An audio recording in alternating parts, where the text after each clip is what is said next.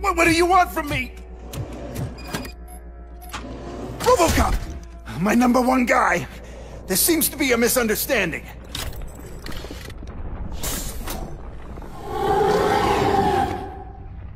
Robocop, I wanted to leave you a message before I undergo this procedure. It has been a long and laborious process, but it has given me the opportunity to observe you closely. The old old man. Uh, that you? I I didn't know. I I, I didn't mean to.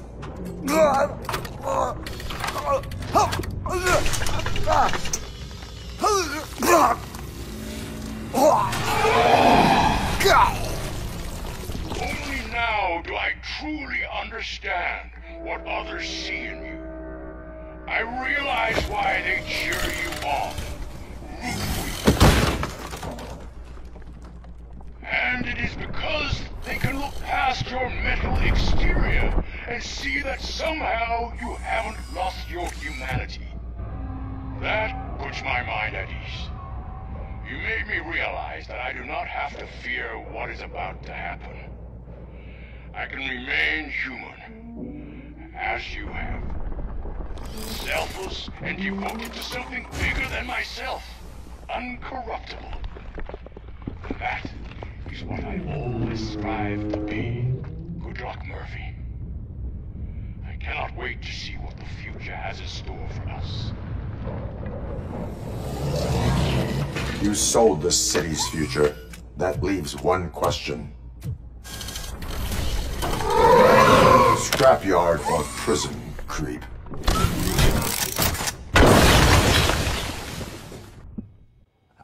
Murphy, what the hell was that? Just an old friend.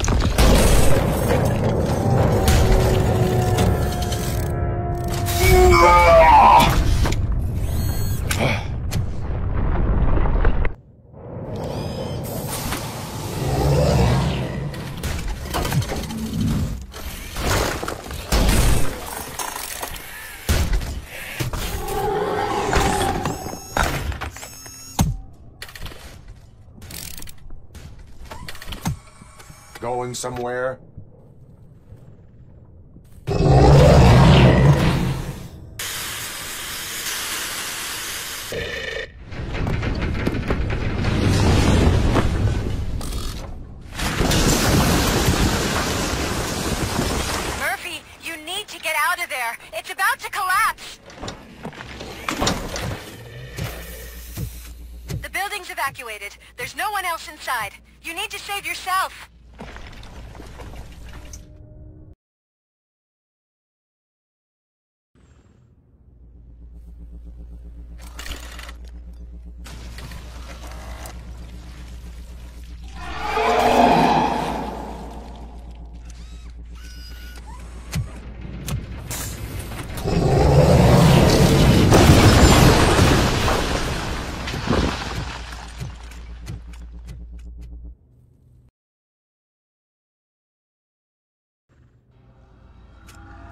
There is one more person here that needs saving. What? Murphy? We are not done yet.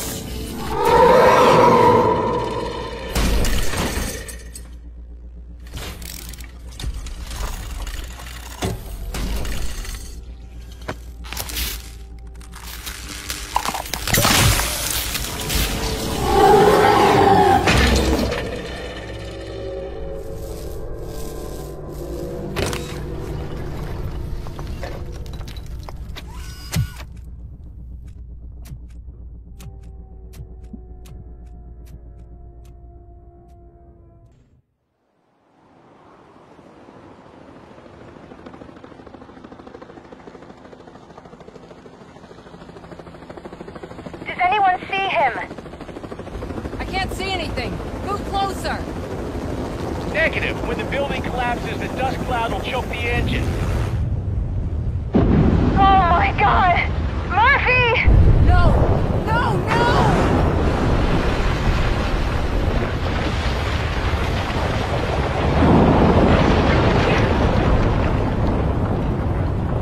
Wait!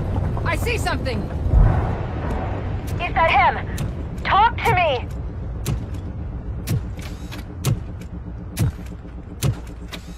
Me, Lewis. It has always been me.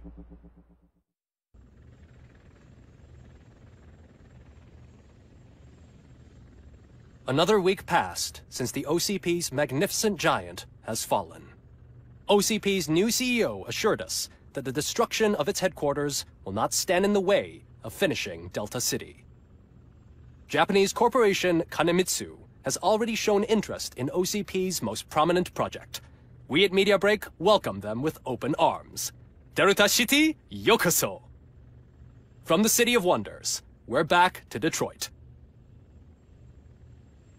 John Mills goes down in the history of the city as its shortest serving mayor, excluding premature death.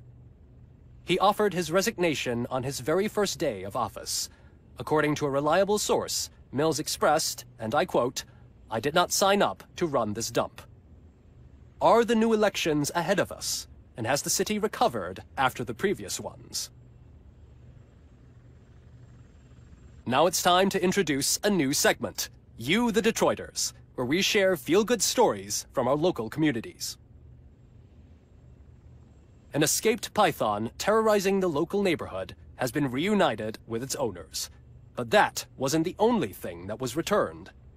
X-ray of the reptile's insides has shown the stolen watches together with the remains of the thief himself.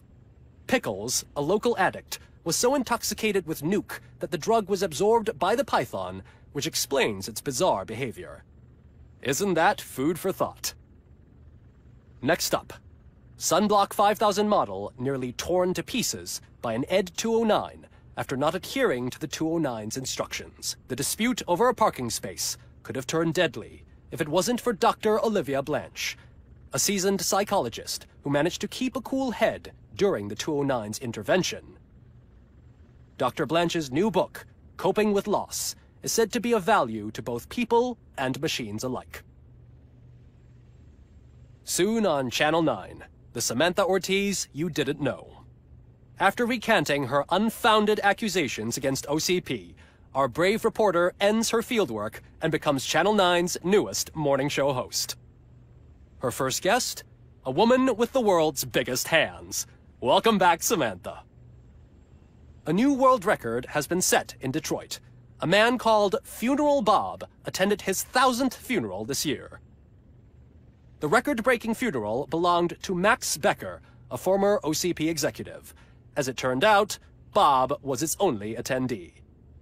The OCP delegation did not arrive due to a rescheduled business meeting.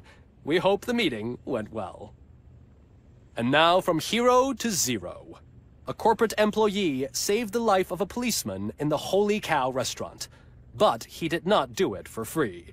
While performing the abdominal thrusts, Ulysses Washington stole the officer's badge. Caught red-handed, Washington claimed that the badge once belonged to him. Committing crimes while aspiring to be a cop, we've heard it all. One question still remains unanswered. What happens to Robocop's human status? We've been informed that due to Mayor Mills's resignation, the matter will not be pursued by his office. Robocop's efforts have prompted a public conversation. I hope OCP doesn't take him off the street. Who will protect us then? Ah! It's Robocop! Robo, I love you! Sarcastic Reaper, Skeleton Speaker, Pure Pandemonium. Ah. To many more years on the force, Robocop. It's been a busy time for Detroit, but the cloud that lowers over the city is lifting as police end their strike. We're ready to serve, said Officer Anne Lewis, who returned to duty despite her recent injury. What heroism. Detroit can sleep soundly tonight. The question is, for how long? That's all for today. This was Casey Wong. Until next time.